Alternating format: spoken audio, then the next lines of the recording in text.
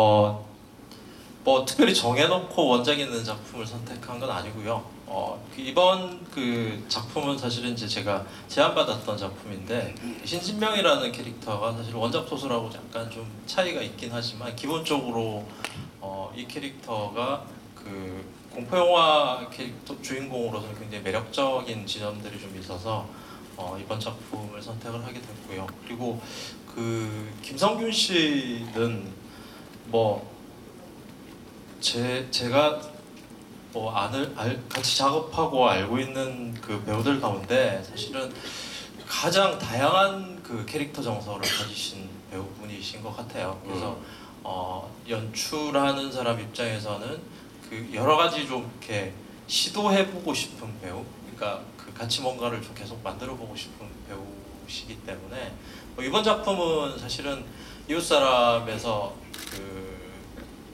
김성기 씨가 했던 좀, 좀 찌질하거나 혹은 그 악랄한 살인마의 역할과는 그 정반대 지점에 있는 그런 정서를 김성균 씨한테서 한번 끌어내보고 싶어서 예, 성균 씨하고 같이 작업을 하게 됐습니다. 예, 김성균 씨의 새로운 면을 감독님이 좀 보여 여러분께 보여드리고자 김성균 씨를 이 역할로 캐스팅을 하신 것 같습니다. 계속해서